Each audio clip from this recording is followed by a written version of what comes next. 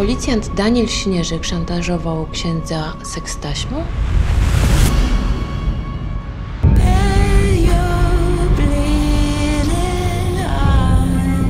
Zrobimy burdel z górnej półki. Miejsce, do którego będą przychodzić politycy, biznesmeni, służby i celebryci. Gwarancja pełnej dyskrecji. Dymanie topowych lasek. Zamontujemy w pokojach kamery i będziemy zbierać materiał na ludzi, potem ich szantażować.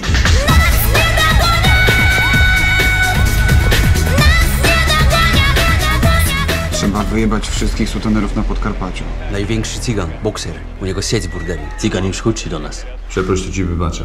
Nie wybaczysz, bo ci pozamiatam.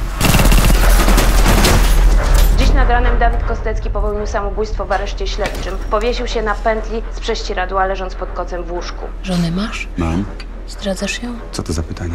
Może propozycję? Policjant z zarządu w Rzeszowie, używając CBŚP, wykosił konkurencję sutenerów na Podkarpaciu i założył własny burdel. Doszło do korupcji kilkudziesięciu urzędników państwowych. Nagrano kilkudziesięciu polityków. To może wpłynąć na wynik najbliższych wyborów. Co pan za to chce?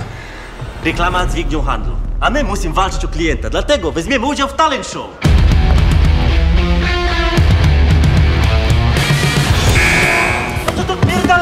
Jebany, chuja się zda! I tak w końcu rzucimy się na ziemię jak psy. Panowie, wiecie, że my już nigdy nie będziemy musieli pracować? Idę po ciebie. Robicie CBŚ, CBA, ABW i SKW. Ja ciebie zniszczę. Próbuj. Załatwię go przez żonę. Podstawię jej tajnego agenta, który ją przekręci przeciw mężowi.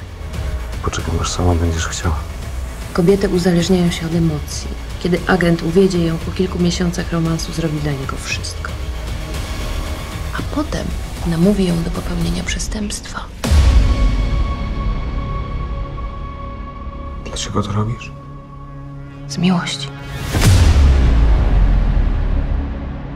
Kobieta zachowująca się zalotnie 8 liter na K. Kurwa, 8 liter. to nie wiem.